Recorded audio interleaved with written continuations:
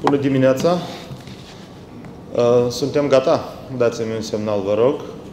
Suntem gata. Uh, bună dimineața, stimați, uh, stimați cetățeni, stimați reprezentanți ai mass media. Mă bucur să vă salut astăzi și, după cum foarte bine știți, una dintre prioritățile de bază ale acestui guvern uh, este dezvoltarea economică, iar dezvoltarea economică înseamnă uh, să oferim cât mai multe oportunități și cât mai multă libertate antreprenorilor uh, din Republica Moldova ca aceștia să crească, să se dezvolte și să se concentreze pe dezvoltare și pe creștere, nu pe birocrație. În acest sens, ne concentrăm, după cum uh, știți foarte bine din nou, pe eliminarea birocrației, care irosește timpul prețios al antreprenorilor, pe digitalizarea proceselor, care ajută în economia uh, timpului, dar și al banilor din conturile uh, întreprinderilor noastre. Uh, pe finanțarea afacerilor și aici o să menționez uh, eforturile ODA, inclusiv produsul 373 care oferă uh, finanțare în condiții predictibile la ratele ale dobânzii mici, Uh, și uh, pentru o perioadă îndelungată, de, pentru o perioadă uh, lungă de timp, astfel încât să putem oferi finanțare afacerilor. Ne concentrăm pe modernizarea și pe repararea legilor care sunt fie învechite, fie pe de-a dreptul strâmbe în, în Republica Moldova. Și, desigur, că Uh, sprijinim antreprenorii în identificarea de noi piețe și de diversificarea piețelor existente. În acest sens, scopul nostru este să creăm un mediu favorabil pentru dezvoltarea afacerilor în Republica Moldova și pentru uh, creșterea acestora. Prin reducerea birocrației, simplificăm procedurile administrative, eliminăm obstacole inutile care, care îngreunează activitatea întreprinzătorilor, promovăm o cultură a eficienței și o cultură a transparenței în activitatea uh, acestora uh, în cadrul administrației publice inclusiv, astfel încât întreprinderile noastre să poată opera cu mai multă ușurință și cu mai multă operativitate. Iar asta, încă o dată, înseamnă economii de timp prețios și de resurse. Mai, mai puțin timp irosit, cum am spus, înseamnă productivitate mai înaltă. Uh, facilităm de asemenea accesul antreprenorilor la noi piețe. Dezvoltăm programe și instrumente care să-i ajute să identifice și să exploreze oportunități de afaceri în străinătate. Promovăm parteneriate și colaborări internaționale pentru a facilita comerțul și a crește exporturile. În plus, oferim sprijin și asistență antreprenorilor care doresc să-și extindă activitatea pe piețele internaționale. Avem o, o multitudine de acțiuni și de um, inițiative în acest sens. Uh, după cum știm cu toții foarte bine, Republica Moldova este o piață mică, iar un antreprenor are nevoie de piață pentru a se dezvolta. De aceea, ca noi, împreună, Republica Moldova, să reușim uh, economic, trebuie să privim în afara uh, hotarelor țării noastre, trebuie să țintim noi piețe pentru produsele noastre, pentru serviciile noastre, pentru ca întreprinderile din Republica Moldova să poată crește și prospera, inclusiv din contul exporturilor, inclusiv din contul uh, noilor piețe pe care le cucepim împreună. Uh, în acest sens, uh, săptămâna trecută, după cum am comunicat anterior, am deschis o oportunitate imensă pentru exportatorii noștri. Uh, împreună cu domnul prim-ministru Dorin Recean, la Liechtenstein, am semnat acordul de liber schimb cu Asociația Europeană de Liber Schimb, prescurtat EFTA, care întrunește țări precum Islanda, Liechtenstein, Norvegia și Elveția. Sunt piețe foarte, foarte interesante pentru produsele noastre. Uh, produsele noastre deja sunt prezente acolo, iar uh, această facilitate, această nouă deschidere le va ajuta și ne va ajuta să ne consolidăm pe aceste piețe. Acordul cu Moldova este cel mai modern acord semnat de țările EFTA cu statele terțe.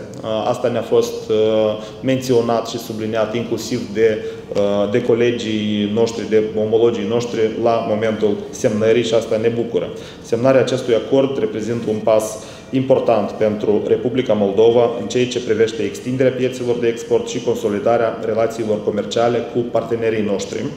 Uh, prin eliminarea taxelor vamale pentru produsele moldovenești în statele EFTA, uh, țara noastră deschide noi oportunități pentru export și atrage atenția unor economii, cum am spus, foarte prospere, uh, cu consumatori cu un venit, cu o putere de cumpărare foarte Uh, mare. Asta înseamnă că produsele și serviciile noastre vor avea acces mai ușor pe aceste piețe și asta înseamnă și potențial de investiții din aceste țări în Republica Moldova. Investiții care aici să vină să, creează, să creeze valoare, să creeze creștere și să creeze locuri de muncă bine plătite în Republica Moldova.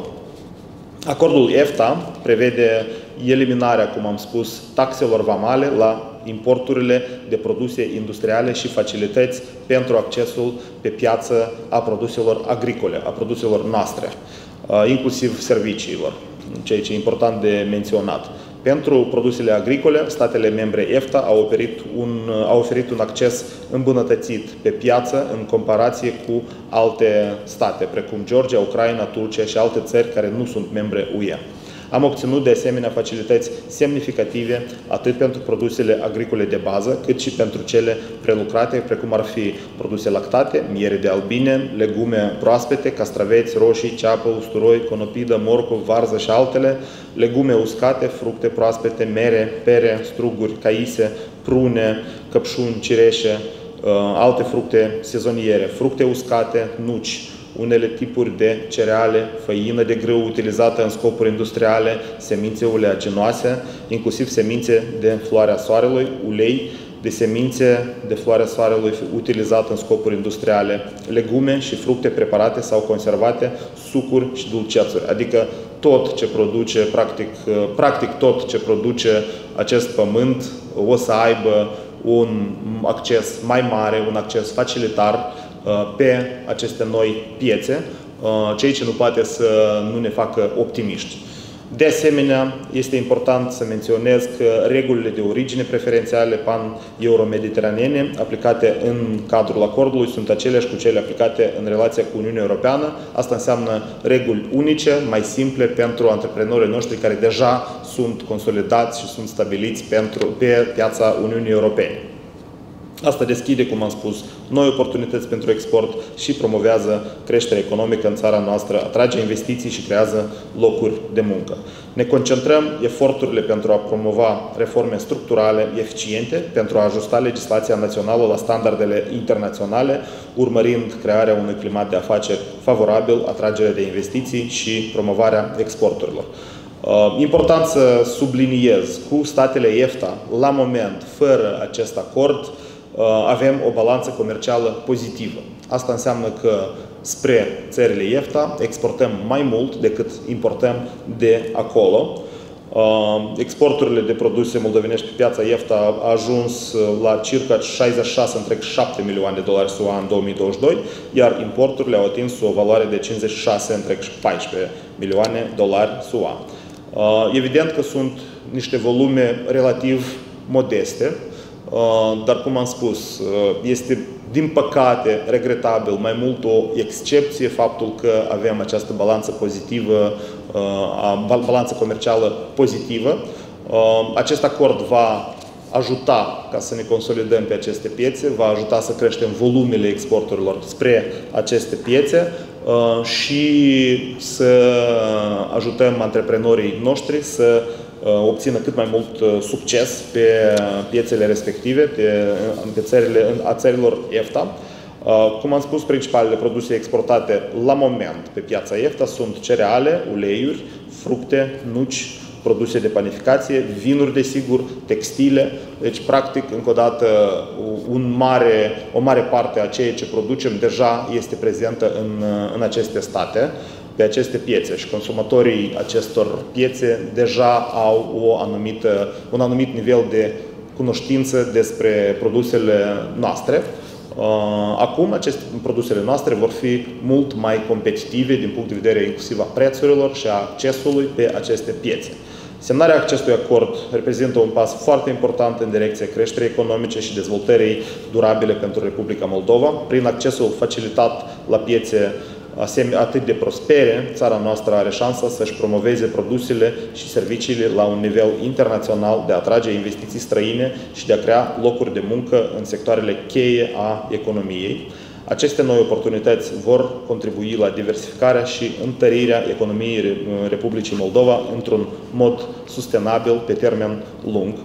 Um, o să mulțumesc tuturor colegilor mei uh, din minister care au depus eforturi uh, într-o perioadă îndelungată de timp pentru a negocia uh, în interesele Republicii Moldova acest acord. Acest acord este un succes inclusiv al, negocia, al negociatorilor.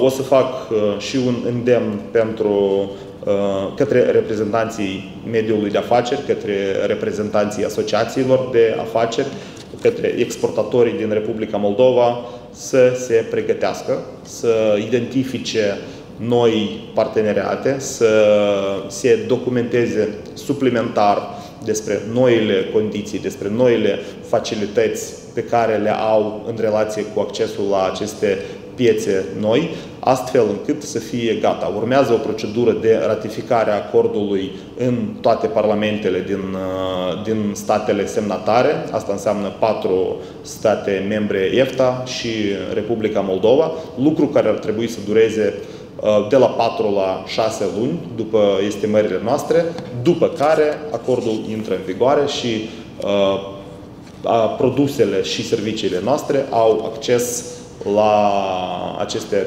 piețe și la consumatorii din aceste piețe uh, au acces uh, facilitar. Uh, respectiv, această jumătate de an poate fi utilizată de toți antreprenorii pentru a-și consolida și pentru a-și stabili noi parteneriate.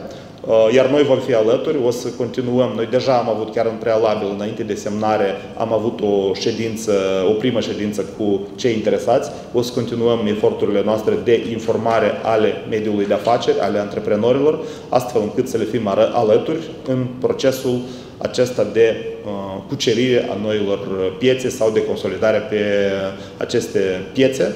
Vă mulțumesc foarte mult și vă doresc o zi bună. Dacă sunt întrebări, nu sunt întrebări.